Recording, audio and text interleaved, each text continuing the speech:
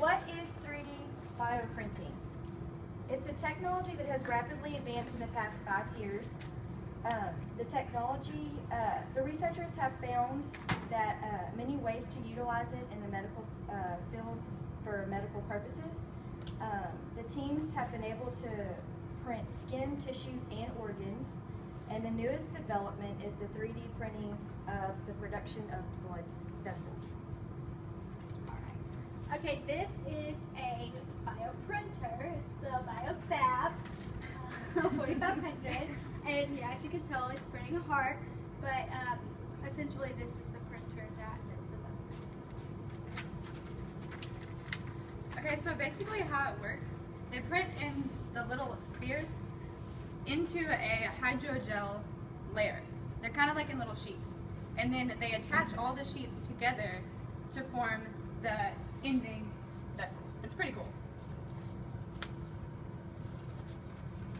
Alright, when did all this start? All of it started back in 2002, but they did not make the actual first 3D bioprinter until 2008. And within 2014 is when it's really expanded. And they've only been, they've been doing it through the hydrogel and they've mainly been doing it on rats, but out of last year and within this year, they have had two successful surgeries with 3D bioprinting out of humans. All right, this research took place in Brigham and Women's Hospital in Boston.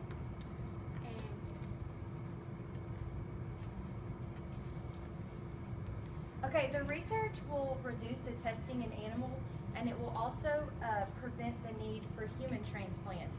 Uh, due to the high demand of it, uh, there's so many humans that do have to donate. This will cut down, you know, the actual a human having to donate. There's actually a shortage of donors too. Like there's not a lot of people actually willing to donate and stuff too. Um, and this research came from chapter four, the circulatory system. Um, the main sites were Science Daily, Live Science, Extreme Tech, um, and 3dprint.com. and this is uh, one of the cases locally. This was actually on our local news, Channel 6, this morning, out of a two year old little boy who had a surgery um, this past February.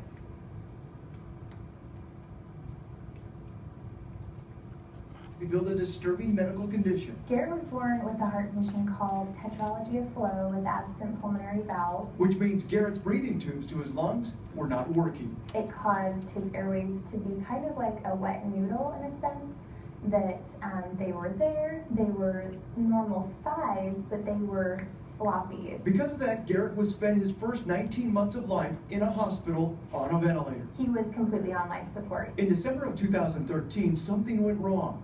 Garrett got sick and his condition was worsening. The Petersons had to do something. We thought we were gonna lose him.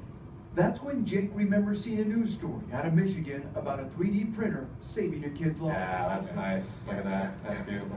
Within weeks, Garrett was in surgery at the University of Michigan's Children's Hospital to have a new set of breathing tubes put in, made by a 3D printer. They um, took a 3D scan of Garrett's airways, and then they printed that out, and then they printed a 3D splint that goes on the outside of his airways to exactly match Garrett's airways and perfectly fit right over the top. And then they sewed that splint to Garrett's airways and to hold him open. It was history in the making, only the second surgery like this to be done in the country, and it was a success. Alright, there he goes. There we go, up and down. For the first time in his life, Garrett was breathing on his own. really fabulous. Uh, we know that the splint's working. He's able to ventilate both lungs for the first time. What's amazing